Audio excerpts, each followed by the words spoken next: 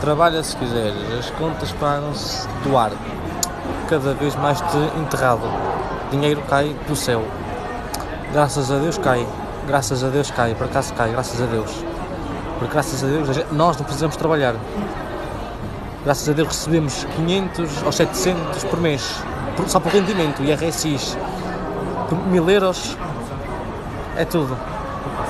E, e digo, não precisamos trabalhar. Trabalha quem quer. Trabalha quem quer. E eu digo isto às pessoas que dizem que os ciganos não querem trabalhar e, tra- e nós trabalhamos para os impostos e eles são chulos e tal. Os ciganos não são chulos. As seguranças sociais, ouçam bem, as seguranças sociais dão aos ciganos porque são necessitados. Porque não trabalham. Os ciganos, quer os ciganos querem trabalhar, mas não dão trabalho. Não dão trabalho. E as pessoas, as sociais e tal, dão casas aos ciganos? Dão.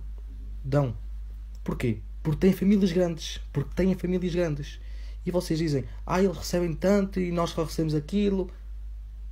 Porque os ciganos fazem, fazem filhos atrás de filhos. É verdade. A verdade é uma. Fazem filhos atrás de filhos. Mas não são, eles não são culpados. As seguranças sociais é que aumentam os RSIs, os rendimentos, os abonos. Porquê? Por causa das crianças. Por causa das crianças.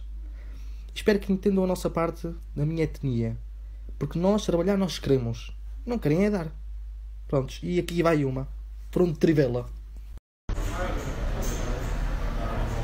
Eu? Trabalhar, hein? Vai tu trabalhar, tu e teu pai, vai trabalhar, hein? Vai trabalhar. Vai do coração. Vai trabalhar, teu pai teu avô.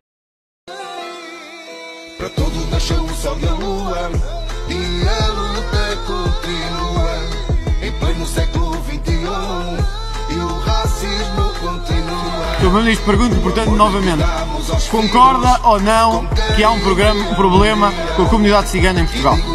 Não, não há um problema com a comunidade cigana em Portugal. Agora, o senhor deputado é que tem um problema que já foi de trivela.